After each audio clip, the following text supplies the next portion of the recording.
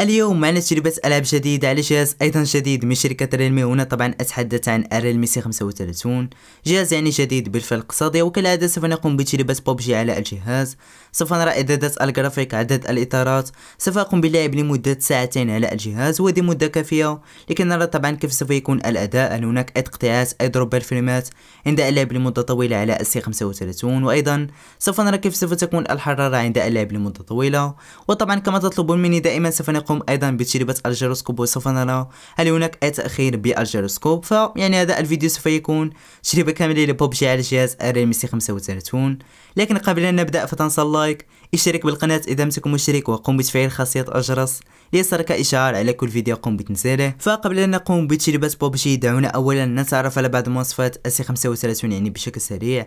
أول شيء يجب أن تركز عليه إذا كنت مهتم بالألعاب وهي نقطة الأداء وال processor. هنا لديك معالج ال Unisoc T616 معالج بدقة تصنيع 12 نانومتر ودي صراحة لا يعتبر إطلاقا أفضل معالج يعني سوف تجده بدل الفئة السعرية إذا كان معالج يعني مقبول وجيد بالنسبة للأداء السهل ودي قدم لي صراحة يعني أداء ممتاز بالتنقل بين التطبيقات فيسبوك انستغرام يوتيوب وكل هذه الأشياء. مع تجربة ال software السلسة الموجودة لديك فصراحة لديك هنا أداء ممتاز.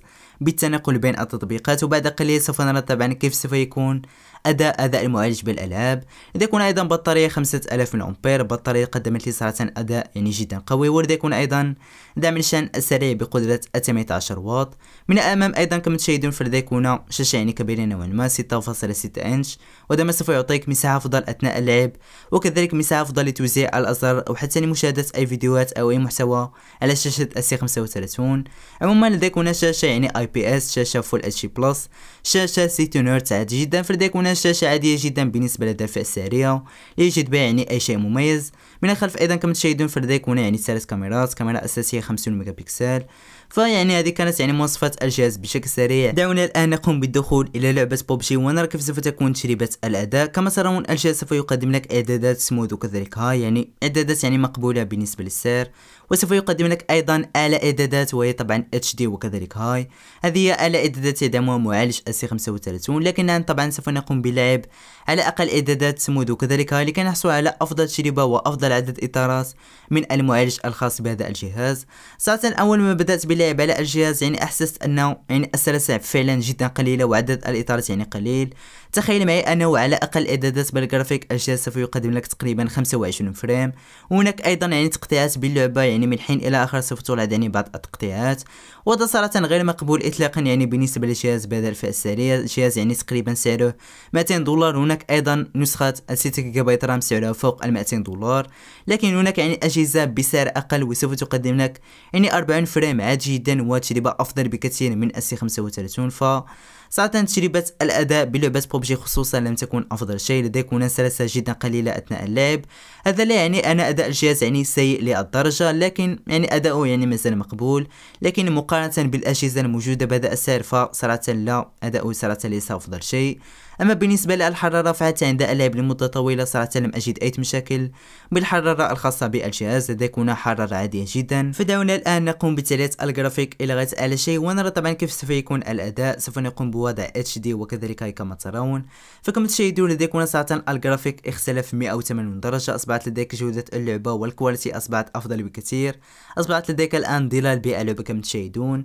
لكن سوف تضحي بشيء جدا مهم مقابل طبعا ال quality وهو طبعا عدد الإطارات. الآن سوف تكون لديك تقريبا 15 20 frame يعني بالكثير فطبعا سوف تكون اللعبة تقريبا أصلا غير قابلة للاستخدام. أيضا أول ما قمت يعني بتعلية الجرافيك إلى غاية HD فلاحظت أن الحرارة صراحة يعني بدأت أحس يعني بحرارة بسيطة بدار الجهاز. فعندما سوف تقوم بتعلية الجرافيك فسوف تكون لديك هنا حرارة لكنها ما زالت أيضا حرارة عادية جدا ليست الحرارة سوف تجعلك لا تقوم يعني بإمساك الجهاز.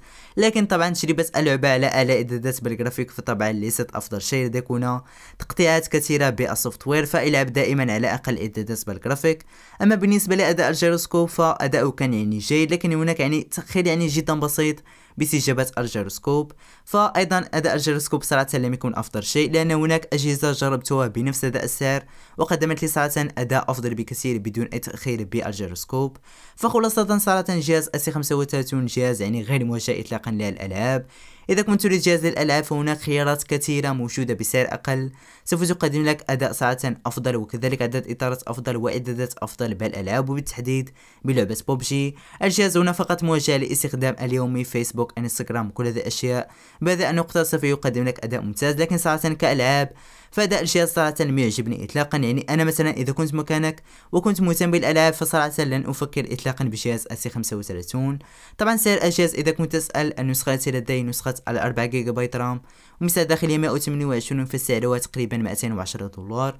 لذلك أيضا النسخة الأقل نسخة على 4 64 سعرها 195 دولار 200 دولار تقريبا.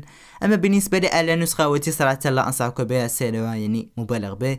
سعرها 220 دولار نسخة أسيتا 128 فعموما هذا كان رأيي بتجربة طبعا الألعاب الخاصة بسي 35 طبعا شاركني الآن أنطلق بالتعليقات ما رأيك بأداء أداء الجهاز؟ وهل فعلا ترى أنه جهاز يعني منافس بالنسبة لسعره.